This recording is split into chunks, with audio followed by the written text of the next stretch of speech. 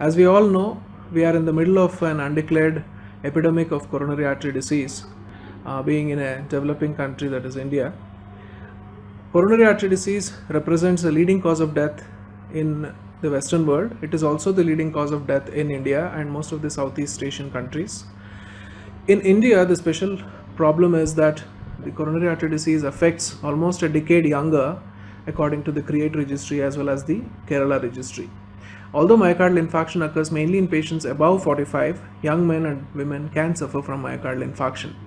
However, the disease carries a significant morbidity, psychological uh, problems, and financial constraints for the person and the family when it occurs at a young age. This is very understandable that a earning member of the family in the most productive part of his life, when he suffers from a myocardial infarction and its complications, life becomes that much difficult.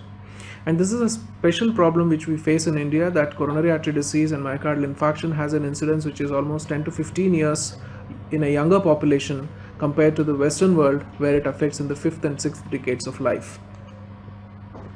The protection offered by young age against myocardial infarction and against coronary artery disease in general has been slowly taken away by increased prevalence of risk factors for coronary artery disease in adolescents and young adults in the form of smoking